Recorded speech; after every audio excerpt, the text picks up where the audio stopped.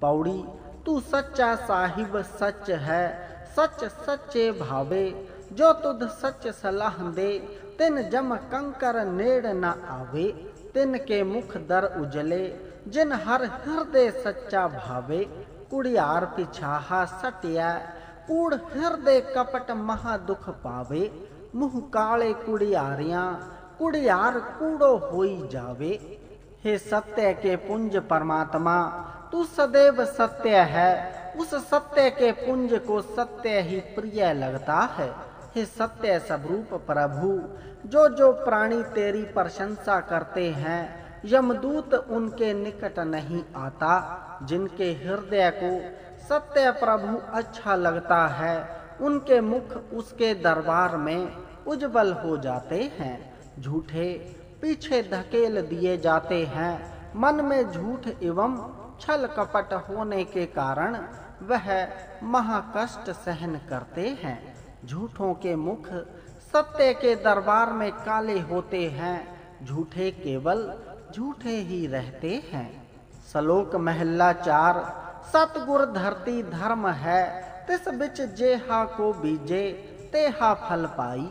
गुर सिखी अमृत बीजया, तिन अमृत फल हर पाई।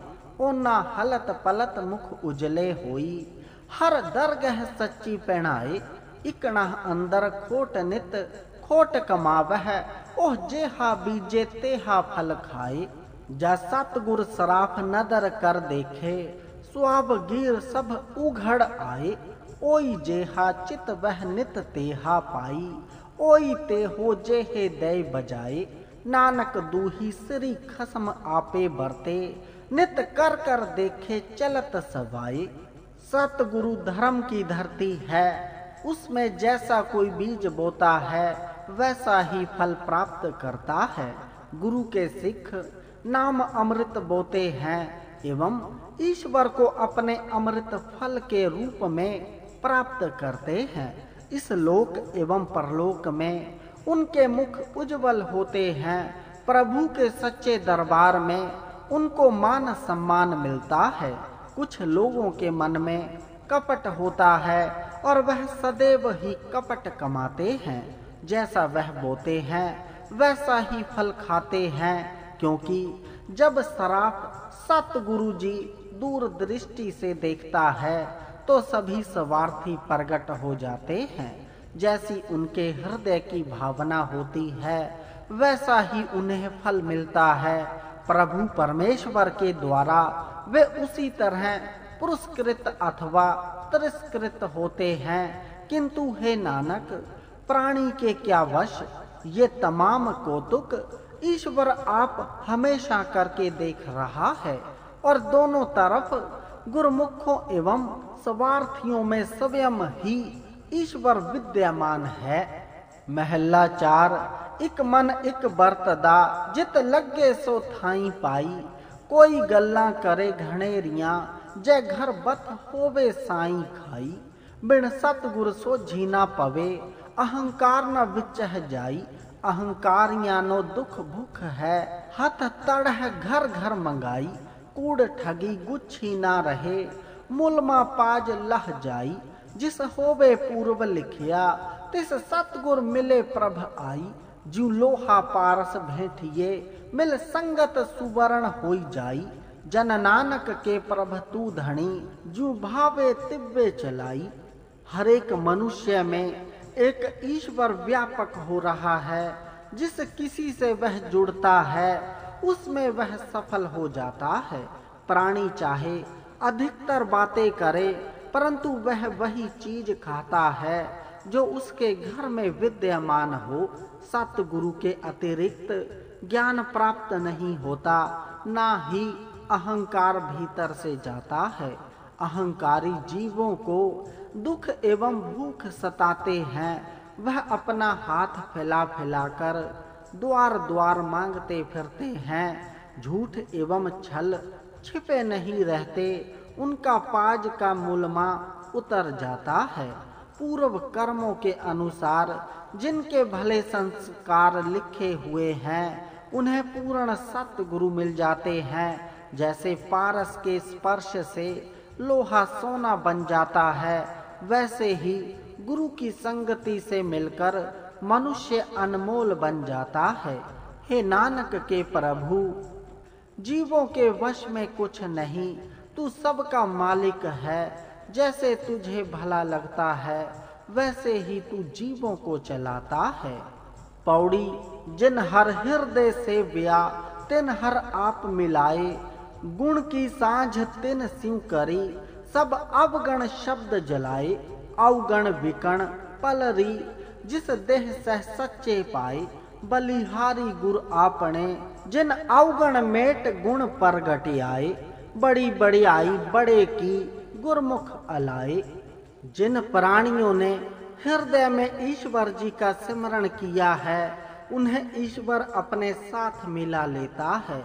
मैं उनके साथ गुणों की साँझ करता हूँ और शब्द द्वारा अब गुणों को जलाता हूँ। घास फूस की भांति पाप सस्ते खरीदे जाते हैं, केवल वही गुण प्राप्त करता है, जिसे वह सत्य स्वरूप परमात्मा प्रदान करता है।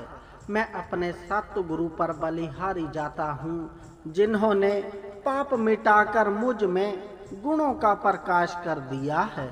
जो प्राणी सतगुरु के समक्ष होता है, वही महान प्रभु की महिमा स्तुति करने लग जाता है।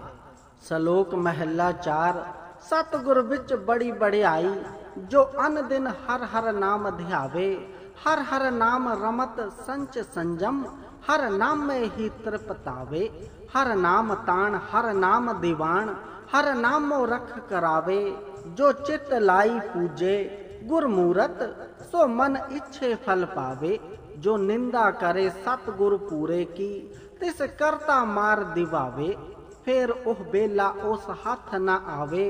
ओह अपना बीजिया आपे खावे, नरक घोर मुह काले खड़िया जू तस्कर पाई गड़ावे। फिर सतगुर की सरणी पावे, ता उपरे जा हर हर नाम ध्यावे। हर बाता आख सुनाए नानक हर करते ऐवे भावे। सतगुरु में यही महान गुण है कि वह हर समय भगवान जी के नाम का ही ध्यान करता रहता है। भगवान जी के नाम का जाप ही सतगुरु की पवित्रता एवं संयम है। वह भगवान जी के नाम से ही तृप्त रहते हैं। भगवान जी का नाम उनका बल है और भगवान जी का नाम ही उनकी सभा है। भगवान जी का नाम ही उनका रक्षक है, जो व्यक्ति श्रद्धा से गुरु मूर्ति की पूजा करता है। वह मनोवांछित फल प्राप्त करता है, जो मनुष्य पूर्ण सतगुरु की निंदा करता है, उसका करतार विनाश कर देता है। वह अवसर उसे दोबारा नहीं मिलता। जो कुछ उसने बोया है, वह स्वयं ही सेवन करता है। जैसे चोर को गले में रस्सी डालकर ले जाया जाता है, वैसे ही मुँह काला करके उसे भयानक नरक कुंड में डाला जाता है, जब वह दोबारा सतगुरु की शरण लेता है और भगवान जी का नाम स्मरण करता है तो वह भयानक नरक से पार हो जाता है।